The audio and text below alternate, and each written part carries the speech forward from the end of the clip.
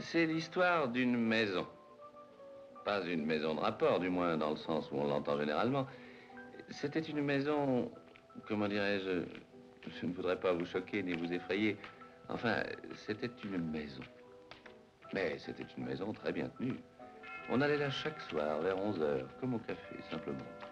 Il s'y retrouvait assis ou huit, toujours les mêmes, non pas des noceurs, mais des hommes honorables, des commerçants, des jeunes gens de la ville.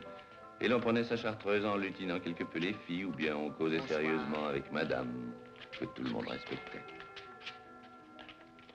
Trop tard.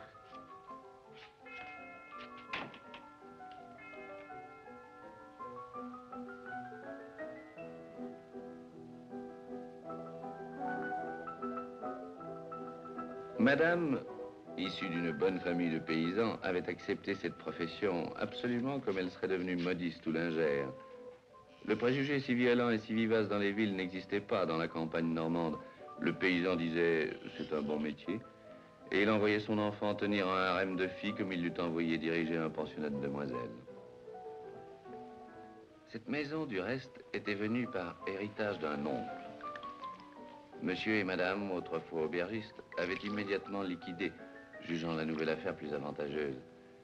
Et ils étaient arrivés un beau matin prendre la direction de l'entreprise qui périclitait en l'absence des patrons. C'étaient de braves gens qui se firent aimer tout de suite de leur personnel et des voisins.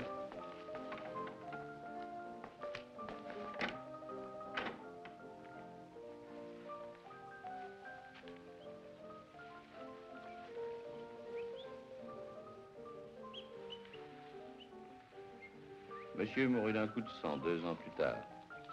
Sa nouvelle profession l'entretenant dans la mollesse et l'immobilité, il était devenu très gros et la santé l'avait étouffé.